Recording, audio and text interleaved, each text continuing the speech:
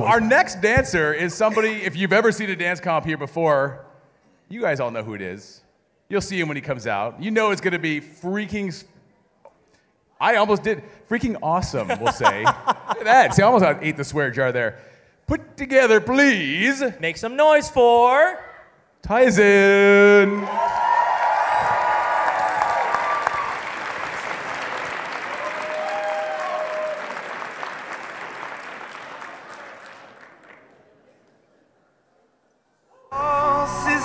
Go. The sun hasn't died.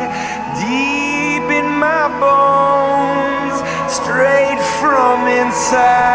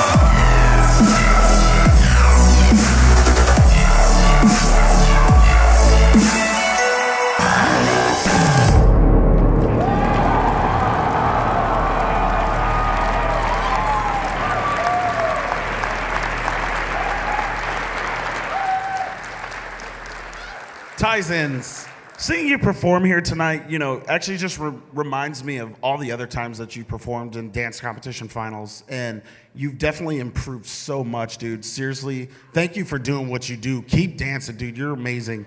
Like, I just love seeing every element of that dance was like spot on, dude. Thank you so much. Thank you very much, Tyzin. Woo! Wow. That's pretty good. Yeah, I could do that. I just don't feel like it. With, with practice, you can.